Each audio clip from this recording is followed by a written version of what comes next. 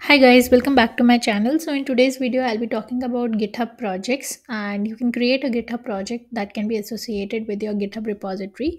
So project is basically an adaptable spreadsheet that integrates with your issues and pull requests on GitHub to help you plan and track your work effectively. So basically you can plan and track your work with the help of these projects which are in the form of spreadsheets. So it could be in a tabular format or in a column wise format.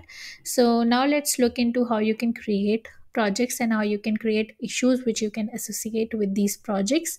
And those issues can also be linked with your repositories. So now get uh, let's go to github. And uh, so i have this github account with me. So the first thing that you have to do in order to create a new project is you have to go to your projects once you are on this page you have to create a new project by clicking on new project button. And over here you have to give the name of the project. So let's say i name my new project as spring boot project. And i click on create once i name the project. So it could be either in table format or in the board format. So let's say as of now we are planning to make it in table format. And i'll click on create button once i click on create button uh, my project has been created and i can go to settings and i can add a description to this project. So let's say i add a description that this project will demonstrate spring boot application that we'll be developing. So it will be associated with the spring boot application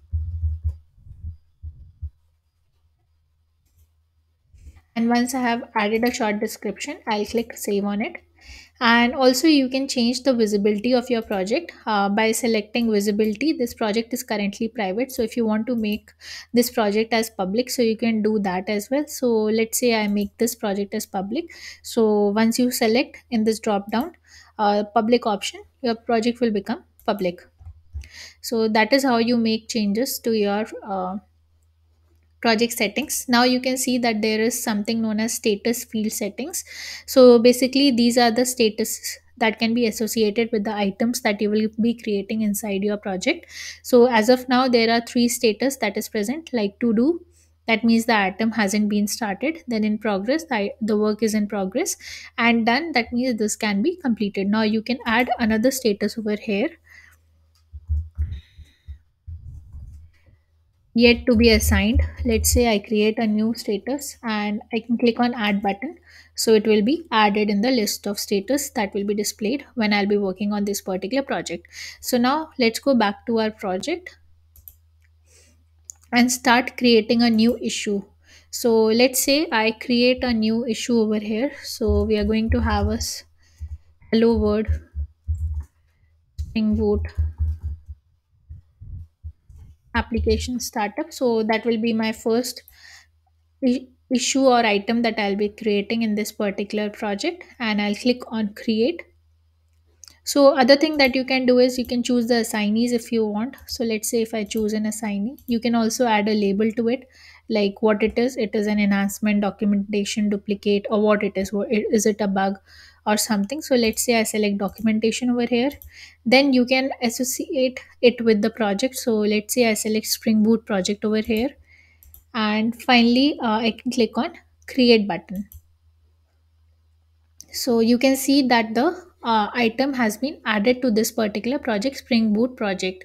Now i can associate this project with my existing repositories.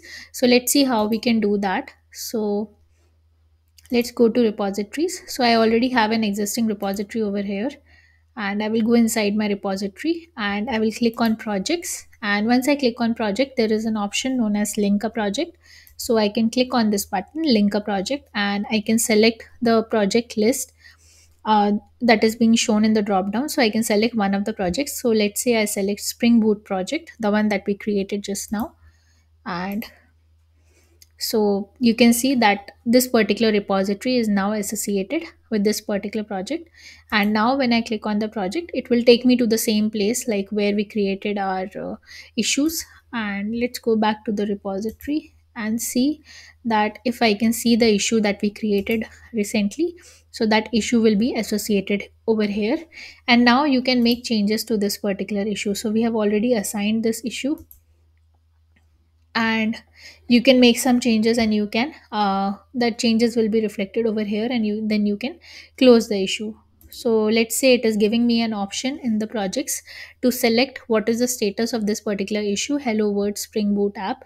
So let's say the status of the issue is in progress. Then it is also giving an option to add a milestone. It has nothing to add as of now. And then you can also link a pull request with this particular issue. So that is also an option over there. So let's get back to our project and see that the status has been updated or not. So you can see that i selected in progress. So the status has been updated I hope this video was helpful to you in understanding the steps on how to create GitHub projects, how to associate issues and project to your repositories. So if you have any questions or comments, please feel free to leave them in the comment section below and I'll try to answer whatever queries and in whatever ways it's possible. And don't forget to subscribe to our channel for more such informative tutorials. Thank you. Thank you for watching. Bye bye.